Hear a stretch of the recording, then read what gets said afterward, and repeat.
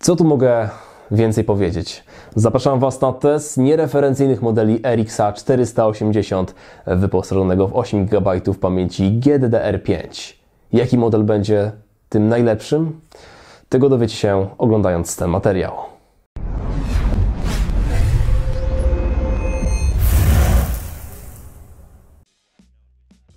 Zestawienie RX 480, podobnie jak miało to miejsce przy GTX-ach 1060, rozpoczynamy od karty graficznej firmy Asus. W nasze ręce trafiła najwydajniejsza odsłona 480 tej firmy, oznaczona nazwą ROG Strix OC Edition. To fabrycznie podkręcony model GPU do 1330 MHz na rdzeniu graficznym, którego cena w tym momencie wynosi 1429 zł. Bazuje on na niereferencyjnej płytce drukowanej z czterofazową sekcją zasilania Super All Power 2. Podobnie jak inne modele ROG Strix, także i ten otrzymał podświetlenie Aura RGB, którego elementy znajdziemy zarówno na backplate, jak i osłonie chłodzenia. A jeśli już mowa o kulerze, chłodzenie aktywne składa się z trzech 90 mm wentylatorów Wingblade zgodnych z półpasywnym trybem pracy. Część pasywna to dwuczęściowy radiator aluminiowych finów i para czterech poniklowanych ciepłowodów o średnicy 8 mm.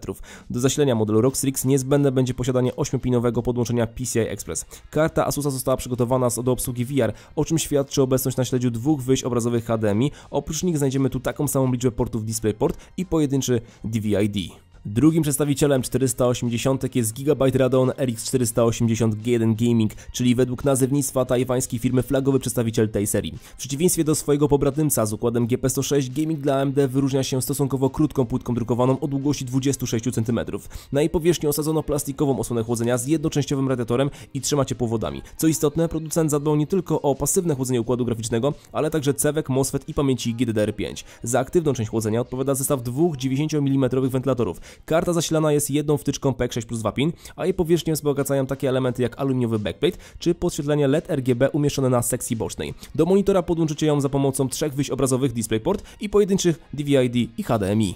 Dominator wielkich testów niereferencyjnych kart graficznych. Powitajcie MSI Radeon RX 480 Gaming X. Dotychczas na próżno było szukać kart, które mogłyby stanąć szranki z tą serią. Czy czeka nas powtórka z rozrywki? MSI do budowy swojej flagowej propozycji Polarisa wykorzystało niereferencyjną płytkę drukowaną o długości 28 cm. Karta oparta jest o 6-fazową sekcję zasilania dla układu LSMR XT. W nowej karcie czerwonych nie mogło zabraknąć miejsca dla systemu chłodzenia Twin Fraser 6, którego buduje para dwóch 100 mm wentylatorów, jednoczęściowy blok aluminiowych finów i zestaw trzech trzech poniklowanych ciepłowodów. Karta wymaga zasilenia jedną 8-pinową wtyczką PCI Express. Konstrukcję wieńczy efektowym backplate i podświetlenie LED RGB, chociaż z tym RGB bym zanadto nie przesadzał. W końcu mówimy tu tylko o możliwej zmianie kolorów dla niewielkiego logo. RX 480 Gaming X posiada ten sam pakiet wyjść obrazowych co Asus ROG Strix, a jego cena ustalono na 1399 zł.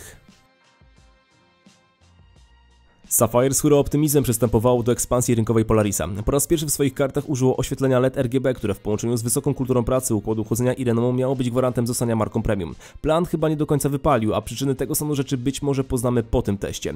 Przed Wami model Nitro Plus tego producenta, który okazuje się najwyżej przetraktowaną wersją 480 dostępną na rynku. Jej zegar w trakcie obciążenia osiąga częstotliwość 1342 MHz. System chłodzenia omawianej karty to połączenie masywnego bloku aluminiowych finów z parą dwóch 90 mm wentylatorów co istotne, zarówno kości pamięci Samsunga, jak i pięciofazowa sekcja podlegają pasywnemu chłodzeniu. Reverse GPU to przede wszystkim solidny backplate o dość fikuśnym designie z kilkoma mniejszymi i większymi wycięciami. Punktem budzącym największe zainteresowanie użytkowników jest przełącznik trybów oświetlenia, dzięki któremu logo Sapphire umieszczone na sekcji bocznej karty może mienić się różnorakimi barwami. Wydawać się by mogło, że sąsiedztwo napisu to idealne miejsce na wtyczkę PEC6 plus 2 pin. Ta jednak powędrowała na tył karty graficznej, co moim zdaniem było wyśmienitym pomysłem. Cena modelu Nitro Plus nie powinna przekraczać 1350 zł. XFX Radeon RX 480 RS to jeden z najtańszych modeli z układem graficznym LSMR XT. Jego cena utrzymuje się na poziomie 1199 zł, co stanowi na pewno atrakcyjną ofertę dla kupujących. W tej kwocie otrzymujecie lekko podkręcony model 480 z dość przyzwoitym układem chłodzenia. Składa się z dwóch w pełni demontowalnych 90 mm wentylatorów i jednoczęściowego odprowinnika ciepła z trzema pokaźnymi ciepłowodami. Niestety chłodzeniu omawianej karty graficznej podlega tylko MOSFET sekcji zasilania. 8 kości pamięci zostało pozbawionych jakiejkolwiek wymiany cieplnej z tworzywem. Reverse RS wypełnia gustowny backplate utrzymany w barwie głębokiej czerni. Karta wymaga podpięcia jednej 8-pinowej wtyczki PCI Express, zaś do monitora podłączycie ją poprzez trzy wyjścia obrazowe DisplayPort i pojedyncze HDMI oraz DVI-D. Jako nieliczna z prezentowanych kart może pochwali się obecnością na laminacie Dual BIOSa. Czy możliwe jest to, że XFX Radeon RX 480 GTR Black Edition to najlepszy model Polarisa? Cóż, takie głosy można znaleźć w sieci od momentu zamieszczenia filmu przez anglojęzycznego youtubera, który chwali producenta za stworzenie karty z perfekcyjnym seksem zasilania. Oczywiście VRM to ważny element karty graficznej, co pokazał przypadek Power Color, ale to tylko jedna z wielu składowych oceny jakości GPU. Patrząc na design GTR mam wrażenie, że gdzieś już widziałem podobne kształty. Pół żartem, pół serio przypomina mi on Batmobile'a, za co XFX-owi wlatuje jeden plusik. Podobnie jak w RS osłonę chłodzenia wykonano z tworzywa sztucznego, a w jej obrębie zainstalowano dwa 90 mm wentylatory, które co ważne możemy w każdej chwili zdemontować i zastąpić zestawem HSF 100. Dodatkowe akcesorium w postaci dwóch wentylatorów z podświetleniem LEDowym w kolorze białym, niebieskim bądź czerwonym do kart graficznych z rodziny Polaris. Fajna rzecz, która pozwoli Wam dostosować kartę do swoich upodobań kolorystycznych. Czas jednak na poważniejsze sprawy. XFX GTR bazuje na sześciofazowej sekcji z tranzystorami Direct Fact. Jako ciekawostkę podam, że podobne VRM montowano w kartach z rodziny Hawaii o TDP rzędu 275 W.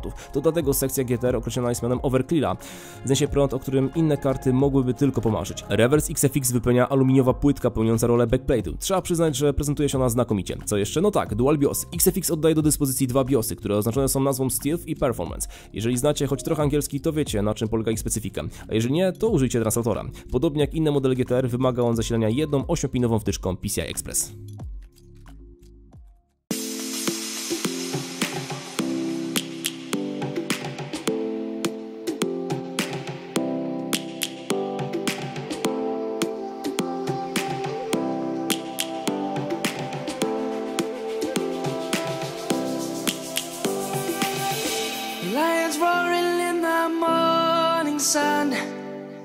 Searching for a longer day.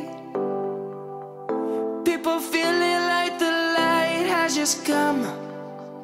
We must never stop the way. yeah. Birds chirping and I hear my name, grasping into a life. Life is happy, but it's so insane.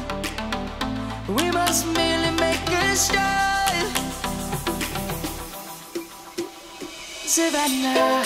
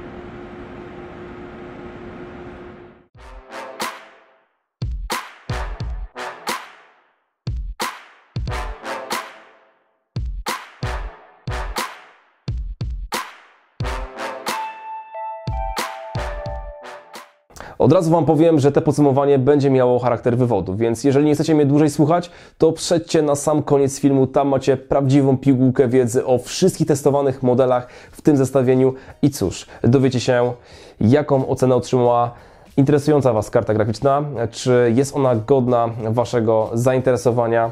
I cóż, a jeżeli chcecie jednak nie posłuchać, to zostańcie na kilka minut, bo będę miał Wam do przekazania bardzo ważne informacje, które odnoszą się bezpośrednio do tego, co przed chwilą sprawdzałem i co przed chwilą pokazywałem Wam na Waszych monitorach. Cztery kategorie. Trzy pierwsze odnoszą się bezpośrednio do działania kart graficznych modeli, które testowałem. Czwarta kategoria to powiązanie tego, co wynikło w testach, ale nie do końca było widoczne w tym materiale lub tego, czego po prostu nie mogłem ująć e, na filmie. Startujemy z pierwszą kategorią, która odnosi się do wydajności kart graficznych zaraz po wyjęciu z pudełka. E, czyli głównie mówimy o fabrycznym OC. E, jaka karta, jakim OC może popisać się na starcie. No i w tej kategorii wygrywają dwa modele. Po pierwsze Sapphire Nitro Plus OC, e, który szczyci się najwyższym fabrycznym OC spośród testowanych RX 480 wyposażonych w 8 GB pamięci GDDR5. Ten model taktowany jest zegarem ponad 1340 MHz.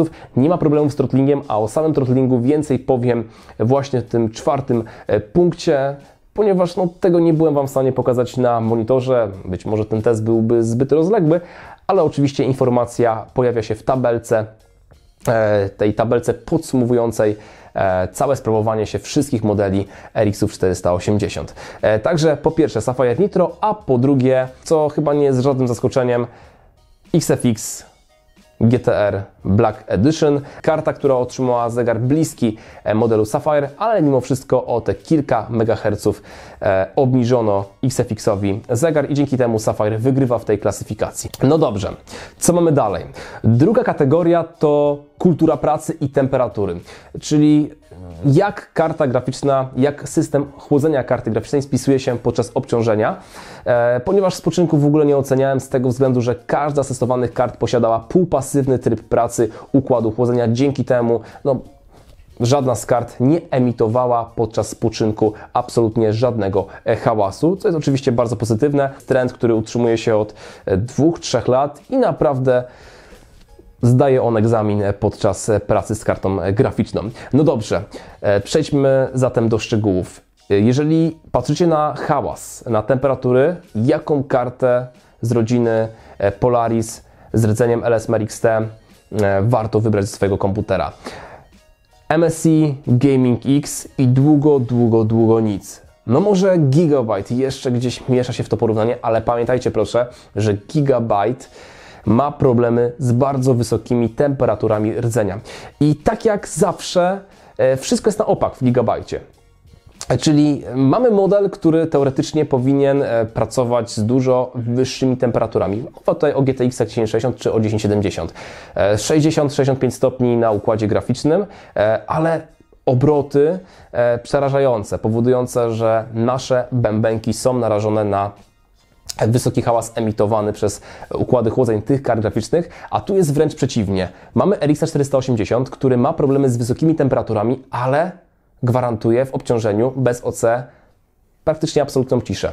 E, nie wiem dlaczego Gigabyte tak żongluje tymi ustawieniami, ale na pewno te w Gigabyte RX 480 są nie do przyjęcia w modelu G1 Gaming i nie za bardzo do mnie trafiają. E, powinny one być e, wyższe, dlatego e, za bardzo nie będę chwalił tego modelu karty graficznej za cichy układ chłodzenia, ponieważ od razu patrzymy na te temperatury, które nie są najniższe. Także tak jak mówię, jeżeli szukacie odpowiedniego modelu z zakresu kultury pracy i temperatur, to bez wątpienia powinien być nim MSI Gaming X. Jest to fantastyczna karta graficzna, jeśli chodzi o sam system chłodzenia. Trzecia kategoria Trzecia kategoria to absolutny miszmasz wszystkiego, co dotyczy karty graficznej z układem graficznym LSMR XT. Opłacalność, dodatkowe elementy takie jak Dual BIOS, specjalne podłączenia dla wentylatorów, wreszcie kilka kwestii odnoszących się do poboru mocy. E, no dobrze, zacznijmy od tego pierwszego, czyli od opłacalności. Jak wypada ta opłacalność w testowanych modelach?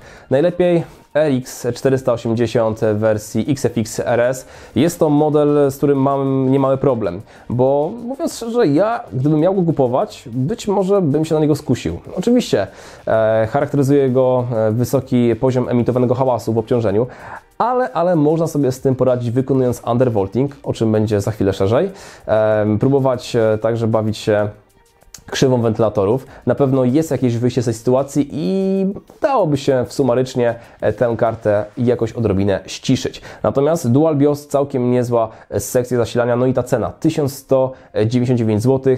Jest to model nawet o 150 zł tańszy od XFX GTR Black Edition, także to może robić różnicę. E, na drugim miejscu Gigabyte e, G1 Gaming, z tym, że o tej karcie już się wypowiadałem, znacie jej plusy i minusy. Nie ma ona Dual BIOSu, e, także sekcja zasilania wygląda nieco gorzej niż na XFX-ach.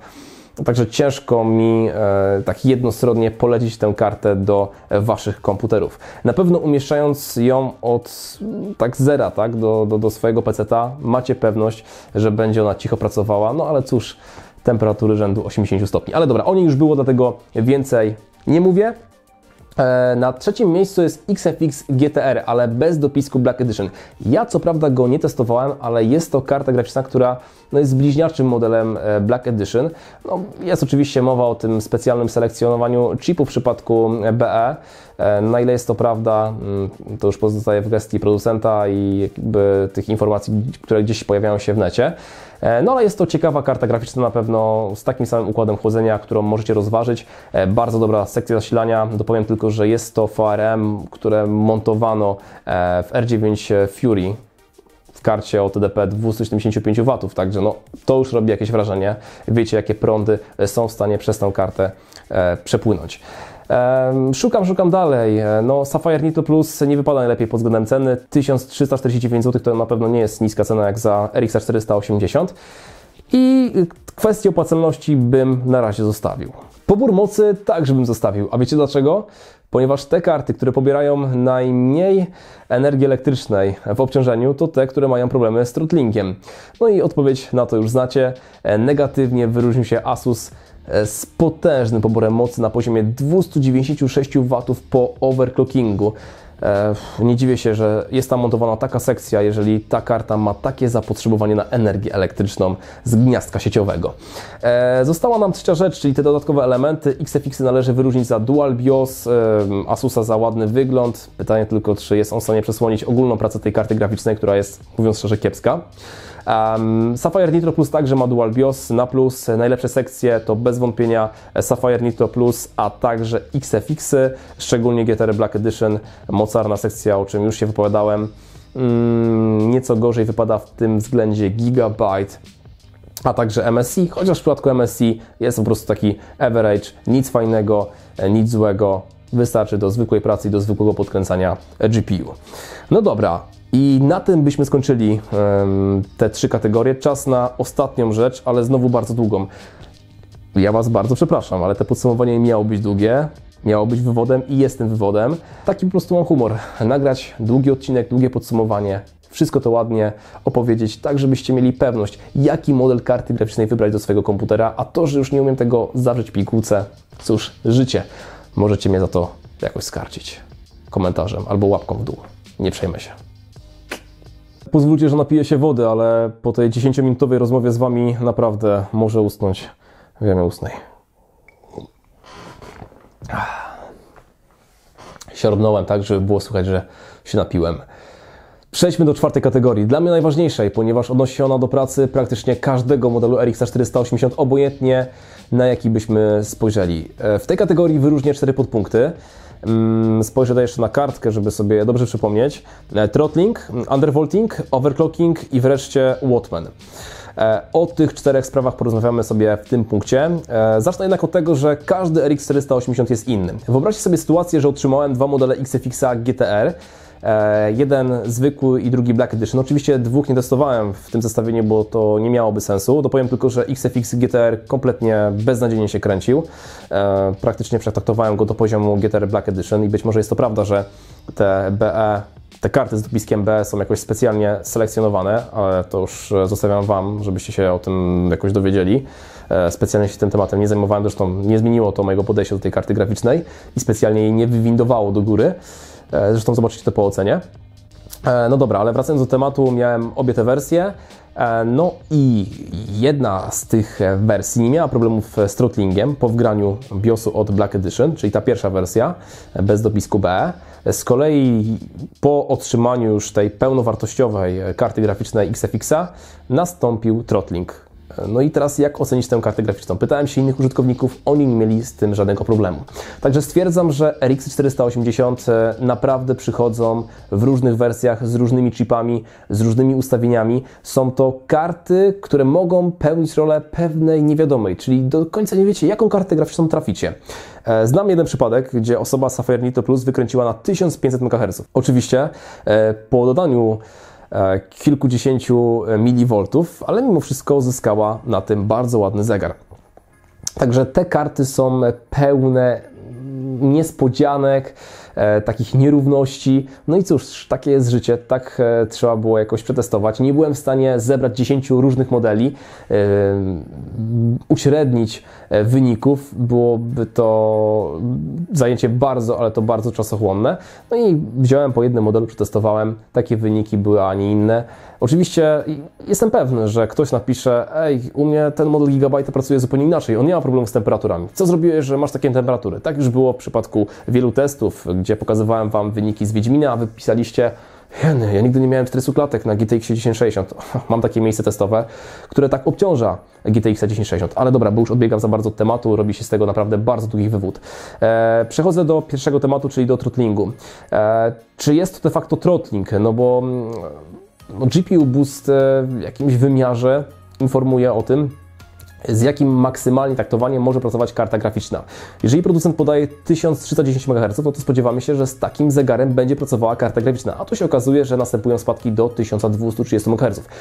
Z drugiej strony specyfikacja mówi wyraźnie, że jest to tryb boost, czyli tryb pewnego zakresu, w którym pracuje karta graficzna z daną częstotliwością. No i właśnie, czy jest to throttling, czy nie, to już pozostaje kwestia, na którą sobie dzisiaj nie odpowiemy, ale ja w swoim nazewnictwie pozostanę wierny em, temu słowu, czyli throttlingowi. Nie będę już Wam mieszał w głowach. Trzy spośród sześciu testowanych modeli mają problemy z throttlingiem, czyli ze spadkiem tych taktowań, nie osiągają maksymalnego taktowania i nie trzymają go podczas rozgrywki w najbardziej wymagających tytułach. I jest na pewno pewien problem, o którym warto sobie szerzej powiedzieć. Jak uniknąć throttlingu już po zakupie karty graficznej? Najlepiej podwyższyć power limit, a jeżeli to nie wystarczy, spróbować undervoltingu, tak podwyższyć także target temperaturowy, ewentualnie obroty, bo być może no, sam target temperaturowy nie wystarczy, chociaż w większości przypadków daje to już e, pełnię wyników i ten stabilny e, takt. Ok. I to jest temat throttlingu, o którym warto, abyście wiedzieli, że jest takie zjawisko i występuje ono na kilku RX 480. Między innymi w tym teście wystąpiło to na Asusie, XFX RS, a także na Gigabyte G1 Gaming. Druga kwestia to overclocking, ale o tym już troszeczkę wspomniałem. Mówiłem, że zdarzają się modele, które po lekkim dowoltowaniu e, mogą utrzymać poziom 1500 MHz. Zdarzają się też takie modele, które nie są w stanie pracować e, z częstotliwością 1350 MHz. Wiele, wiele niespójności. Wszystko zależy od modelu, od chipu. Nie sugerujcie się proszę współczynnikiem ASIC, bo to kompletnie w ogóle nie ma żadnego znaczenia e, jeśli chodzi o mm, przetaktowanie. Miałem model Asusa, który miał 90%, absolutny chyba rekord ostatnich tygodni po czym ocena na poziomie 1390 MHz, e, nawet kiedy próbowałem zwiększyć napięcie, nic to kompletnie nie dawało e, do uzyskanych taktowań. E, To jest jedna sprawa, czy też druga sprawa, kwestia undervoltingu. Jest to kluczowa rzecz w przypadku RX 480. Wyobraźcie sobie, że większość osób, które posiadają już RX 480 i które nimi się bawią, to bardzo rzadko, bardzo rzadko zajmują się podkręcaniem kart graficznych z użyciem wyższego napięcia. Jest to naprawdę garstka osób. Więcej person próbuje undervoltingu, czyli celowego obniżenia napięcia do uzyskania odpowiednich taktowań stabilnego zegara na odpowiednim zegarze. Ja tak też robiłem z RX 470, żeby ściszyć tę kartę graficzną, żeby uzyskać e, niższy poziom hałasu, to wykonałem undervolting. Oczywiście sam undervolting przekłada się także na temperatury, no i oczywiście na pobór mocy, a jest to z reguły no, ważna kwestia dla osób posiadających kartę graficzną za takie pieniądze, e, czy też ważne kwestie e, bo na pewno nikt nie chce mieć karty głośno pracującej, pobierającej dużo mocy e, i pracującej w wysokich temperaturach. Dlatego undervolting jest takim elementem, no, powiedziałbym, że bliskim klucza dla RX-ów 480. Bardzo fajne narzędzie, bardzo fajna rzecz, która pozwoli Wam pobawić się nieco kartą graficzną, Szerzej o undervoltingu mówiłem w osobnym materiale. Ostatnia kwestia i kończymy. Watman. Praca Watmana. Dla mnie, słuchajcie, Watman to jest taka zagadka. Po 12 godzinach pracy z podkreśleniem kart graficznych wiem, że ten program ma jeszcze sporo wad. Ale jeżeli już będzie działał tak, jak powinien, to będzie ok. Odpalacie MSI Afterburner. Przedtem wprowadziliście ustawienia do Watmana. Co się okazuje? Oh, masakra. Jak to może działać? Zerują się ustawienia i macie te, które są dostępne w MSI Afterburner. Żart, nie? Tak, no, no to nie jest żart, to nie jest żart, tak wygląda to na serio. Także nic fajnego. E, poza tym jeszcze no, te problemy z działaniem wentylatorów. E, odpalacie sobie grę, gracie, karta wbije odpowiedni e, target, jeśli chodzi o RPM, zminimalizujecie grę, wchodzicie do niej ponownie, czy też odpalacie nowy level, nagle okazuje się, że karta pracuje z 300-400 e, większymi obrotami na minutę, układu chłodzenia, wentylatorów. Nie wiadomo o co chodzi. Chodzi o pracę Watmana, to jest wszystko na razie niedorobione moim zdaniem jeszcze i czekamy na wiele, wiele poprawek, bo to ułatwi pracę e, z kartami graficznymi z rodziny e, Polaris, e, z LSMR XT, układem graficznym i tyle. Moi kochani, przepraszam Was bardzo za te bardzo, ale to bardzo, bardzo długie podsumowanie, ale musiałem Wam powiedzieć o tych wszystkich kluczowych sprawach dotyczących Harisa 480. Jeżeli ktoś wytrwał do końca tego odcinka, gratulacje. Masz ode mnie człowieku piwo. Papa, mówił Lipton, widzimy się już niedługo. A teraz już e, powoli będę Wam życzył miłych, spokojnych, fajnych świąt Bożego Narodzenia. Papa. Pa.